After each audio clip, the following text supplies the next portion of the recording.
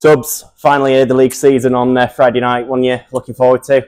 Exciting. Back home, uh, first league game against a quality team in, in Toulouse. So the cups are put to bed for a little while and we, we, we've done really, really well with that. The boys are, are really ha happy about it. Uh, so that's good. And now it's the focus on, on the main ingredients, if you like, is the, uh, the start of the league uh, season for us. I don't really know much about Toulouse's pre-season, but we head into this game, seven games undefeated. How are them games in the competitions that we've played so far going to hopefully try and benefit us tomorrow night? Uh, look, we're, we're looking fit, and obviously playing seven games, uh, you're going to be fit. You, you, you know, you're ready, you're sharp. Uh, yes, we, we, spoke about it. We haven't been at his best with the ball in hand, but I know that's there. Uh, but what we've been really good at is defensively, and we're going to have to be really, really good defensively this weekend on Friday night because uh, playing against a big physical French team in Toulouse and uh, they've got some quality players. There's absolutely no doubt about that. And the hardship is that they probably played no games. They might have had a, a couple of pause sessions, but they haven't played no no friendly, so we've got no footage, no idea on them. So we don't know what we're going to turn up with. What we do know is we beat them at our place last year uh, quite comfortably.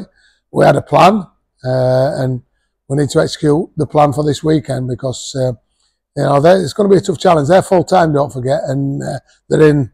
They probably do more in one day than we do in a full week training. So uh, they'll be in good shape as well, and they know the importance of getting off to a good start. So it all leads to a, um, a big game and we've obviously gone into other games. You've been able to have a look at how they play and stuff like that. You talked there about maybe not knowing so much about Toulouse. How does that kind of impact the preparation?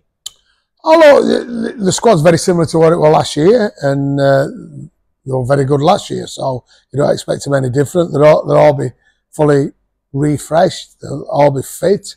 Uh, you know, you've seen the 21 man squad and all the people that they were struggling with last year with injuries. They're all going to be ready for the start. So, you know, but it, as it always is, we, we need to improve a little bit more than we did last last week.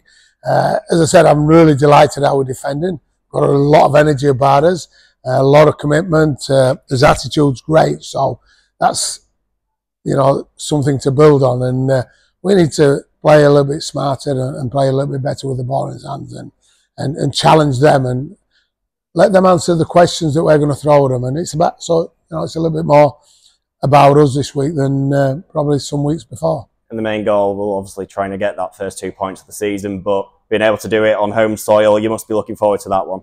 Yeah, it's always nice to start well. And look, I know the fans talk about it a bit, how we started last season uh, in good form. Uh, we're really high, uh, high intensity, and, and that's what we need again.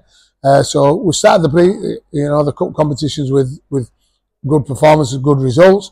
Uh, but this is the real deal now, and, and we need to be uh, we need to be a nine or a ten this weekend to get what we want.